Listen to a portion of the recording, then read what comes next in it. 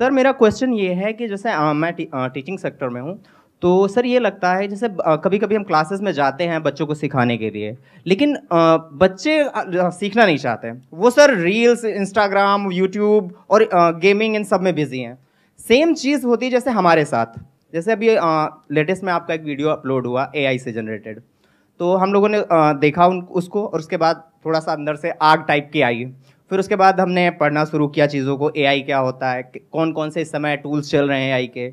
लेकिन सर, मैंने फिर से ये ऑब्ज़र्व किया, जिन और काफ़ी लोगों को मैंने शेयर भी किया, कि वहाँ पे हमें ये तो समझ आया कि हमें एआई टूल्स के बारे में जानना चाहिए, उनको सीखना चाहिए। लेकिन फिर भी हम सीखते क्यों नहीं उनके बारे में? फिर हम गिवअप कर देते हैं, फिर वही रील्स और Instagram YouTube reels Facebook reels यही सारे में बिज़ी हो जाते हैं।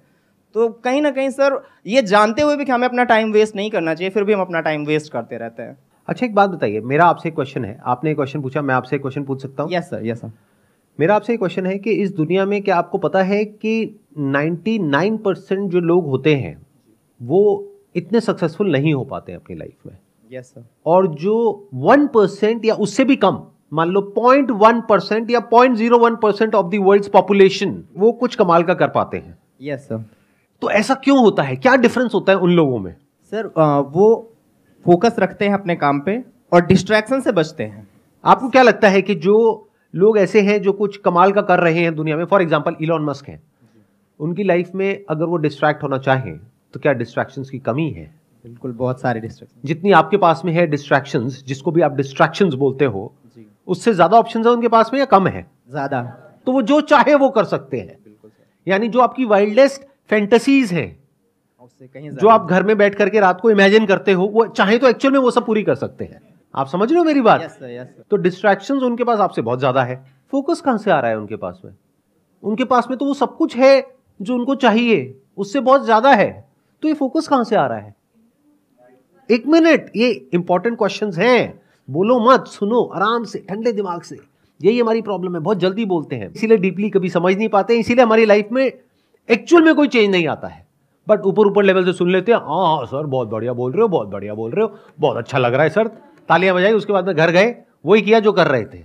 कोई फ़र्क नहीं आया।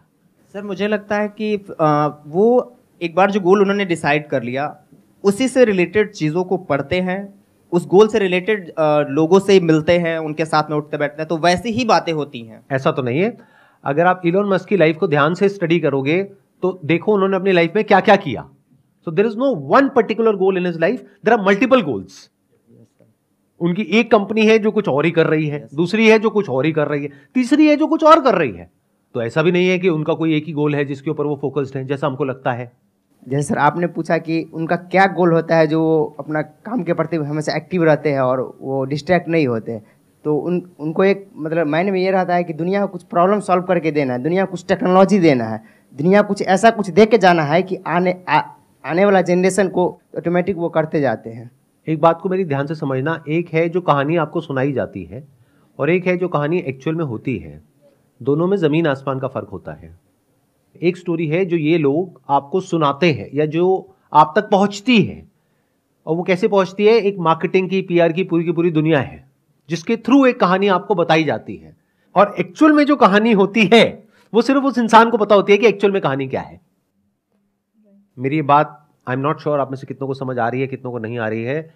एक है आपके माइंड में जो इमेज बनी हुई है, एक पर्टिकुलर ऑन्टरप्रिन्योर की, जो हो सकता है पीआर की और मार्केटिंग की पूरी की पूरी मशीनरी है, उन्होंने एक स्टोरी क्रिएट करी है और उस स्टोरी के अकॉर्डिंग उस नैरेटिव के अकॉर्डिंग कुछ एक्शंस ले रहे हैं, जिससे कि उनकी इमेज पॉजिटिव बिल्ड हो आपके माइंड में, जिससे कि आप उन पर ट्रस्ट करो और आपको लगे कि वो बहुत अच्छे इंसान है। क्योंकि अगर आप उन पर ट्रस्ट नहीं करोगे तो वो कोई भी काम नहीं कर सकते हैं। अगर वो कोई भी काम में सक्सेसफुल होना चाहते हैं तो उनको आपका ट्रस्ट चाहिए। तो पहले तो इस कहानी को डीकोड करना सीखो लाइफ में। और उनको छोड़ो। आप भी तो ऐसे ही हो। एक कहानी है, आप में से कितने हैं जो मैरिड है? हाथ ऊपर करिए। तो एक कहानी है जो आप अपने हस्बैंड को या वाइफ को सुनाते हैं, और एक कहानी है जो एक्चुअल में आपके अंदर चलती है। दोनों में फ़र्क है या नहीं है?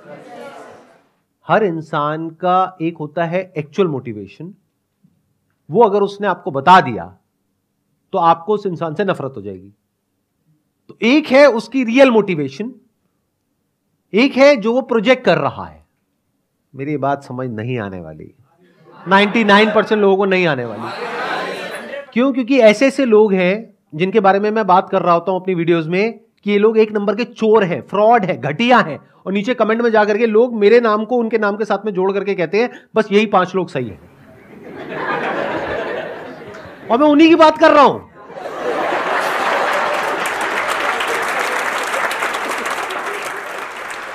चलो, आपको बड़े सिंपल तरीके से बोलता हूँ, अगर अभी भी नहीं समझ पाए तो भगवान ही आपका मालिक है। मैं उन लोगों के नाम नहीं ले सकता, क्योंकि बहुत बड़ी कंट्रोवर्सी हो जाएगी। बट द पॉइंट इज़ ऐसे लोग जो आपके माइंड में आते हैं पाँच दस लोग, जो आप कहते हो, अरे, ये बहुत बढ़िया है, ये बहुत बढ़िया ये बहुत बढ़िया ये बहुत बढ़िया है।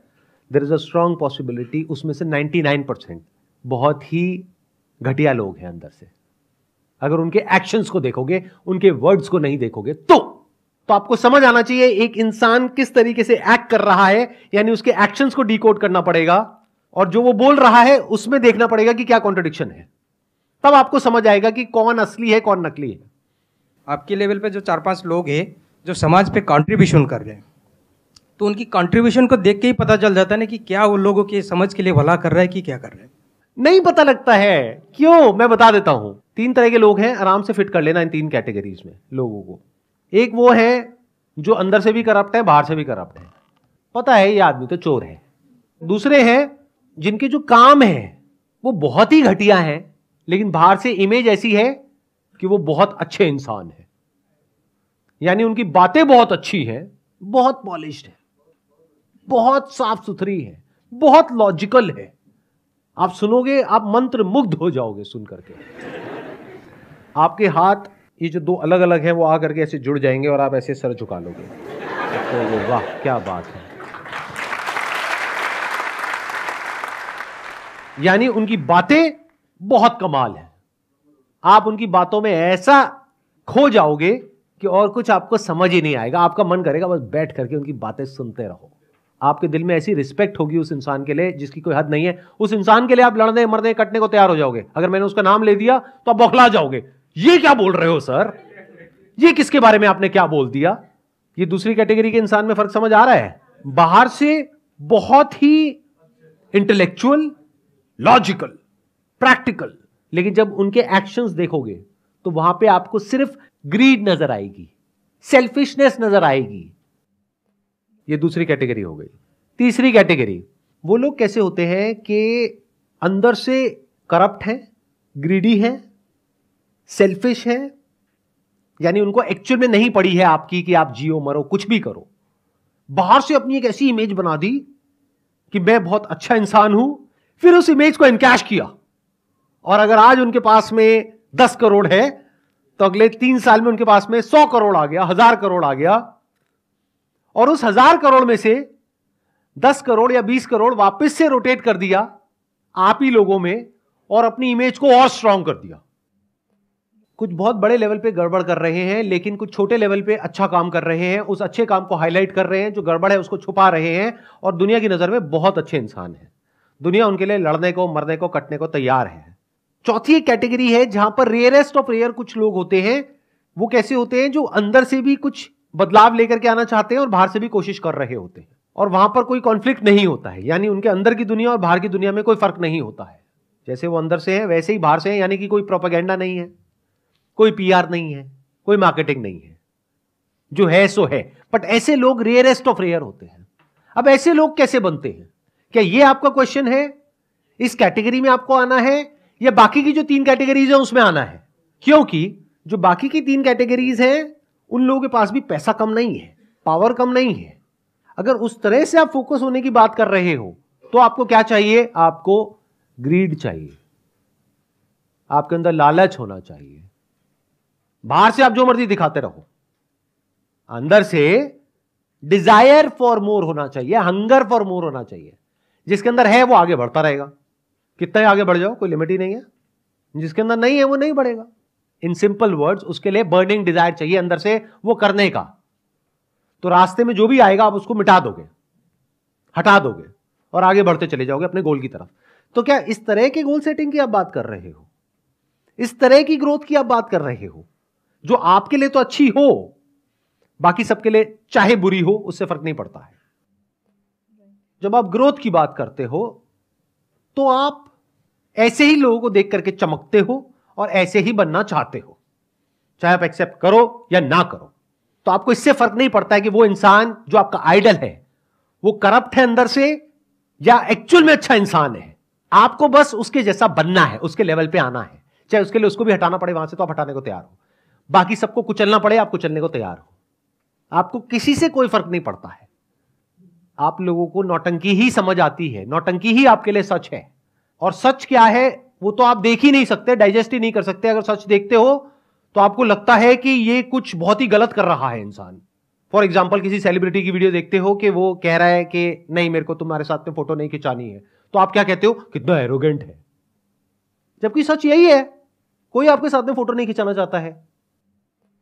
जब नए नए स्टार बनते हैं नए नए फ़ेमस होते हैं तो बड़ा मज़ा आता है फ़ोटो खिंचा करके।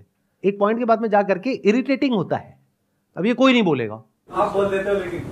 मैं तो बोलूँगा, मेरे को आपके बाप का कर्जा थोड़ी देना है। मुझे आपसे कुछ चाहिए थोड़ी है। मैं तो बहुत केसेस में मना ही कर देता हूँ। अगर जैसे कहीं जा रहा हूँ, अगर तो वेला हूँ, कहीं एयरपोर्ट पर बैठा हूँ टाइम पास कर रहा हूँ, कोई आया फ़ोटो हाँ ठीक है, खींच लो, चलो, चले जाओ।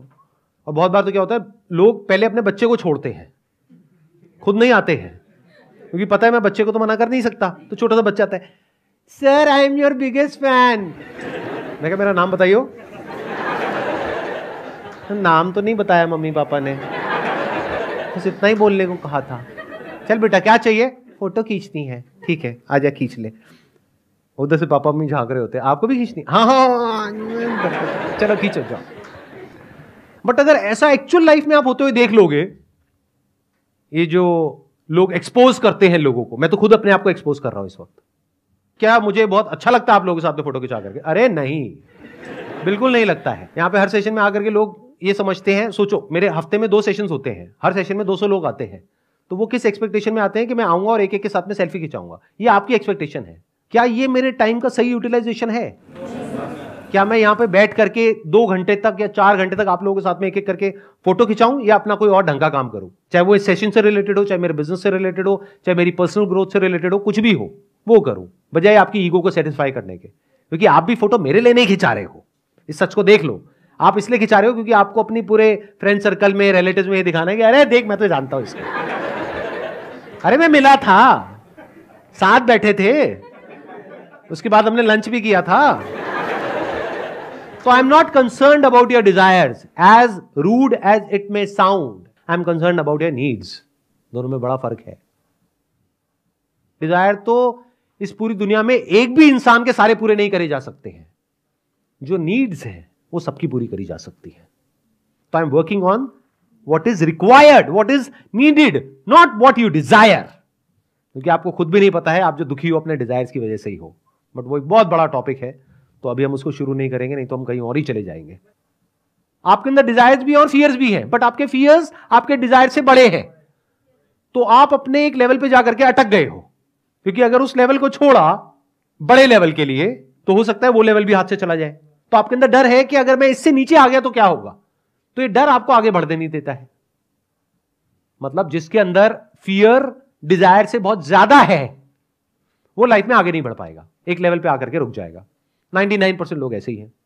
बट कुछ लोग ऐसे होते हैं जिनके अंदर डिज़ायर फियर से बड़ा होता है।